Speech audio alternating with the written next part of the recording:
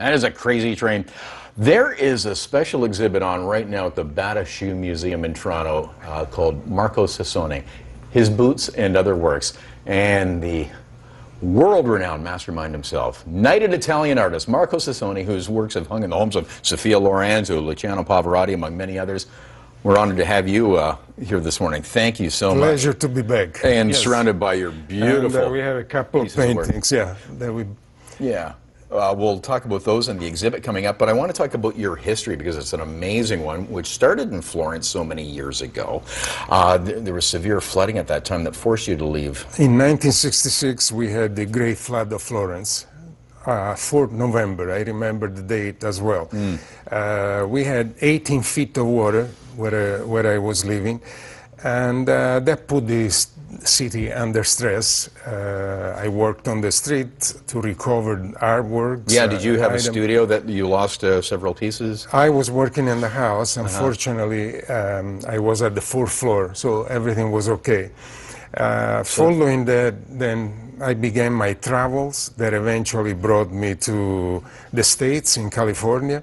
But uh, the beginning, I was in Greece, France, mm -hmm. England for six months. And then love brought you to Toronto.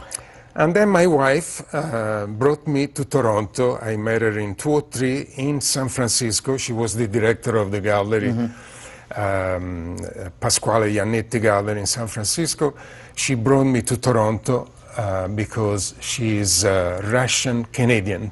Well, and uh, we're, we're honored to have you uh, here. Such a world-renowned artist. Back to your California days, we've got a picture. Uh, uh, Tina Turner actually was at one of your. was this a gallery event? Yes, she came to my opening 1978 in Beverly Hills and uh, I met her there. We had a fun time. You can see from the picture. uh, and, and, so she bought one of your pieces. Yes. Yes. One of many celebrities that own your work. Yes, uh, Pavarotti, uh, Ella Fitzgerald mm -hmm. bought a painting uh, of the 70s. This, this, was all during the 70s right. in, in California. And yeah. in the 80s, you were knighted, as I mentioned off the top, you were knighted by the 1982, uh, I was caught by surprise. I was uh, really uh, humbled by this experience. I received the, the knighthood from the president of Italy.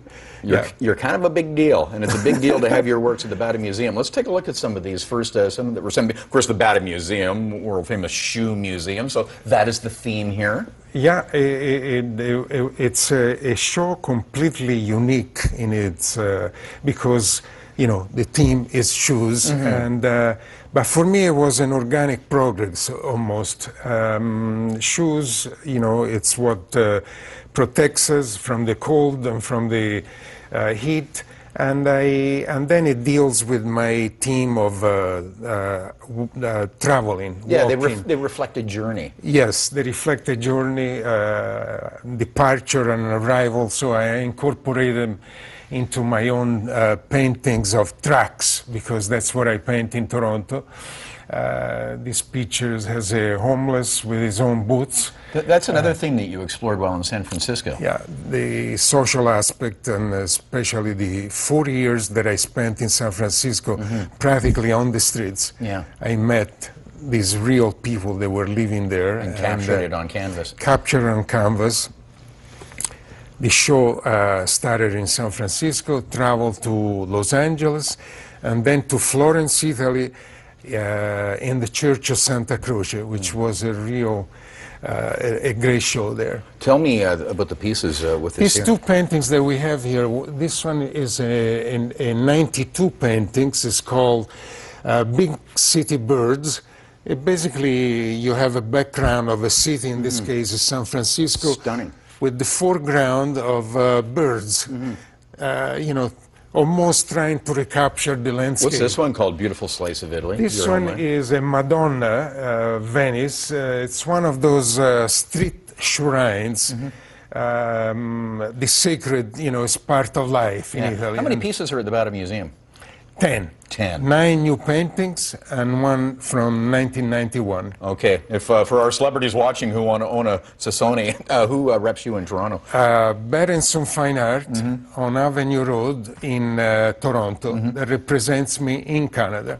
Wow. Yeah. This is just amazing. And of course, we can enjoy it with the admission price at the Bata Museum to see your incredible works. So it's on through September fir- uh, 5th, rather. His Boots and Other Works. Marco Sassone, real honor to have you here on Morning Live. Thank you so much for sharing your Thank masterpieces. you. Thank you so much. All right, we are back with more Morning Live after this fast break.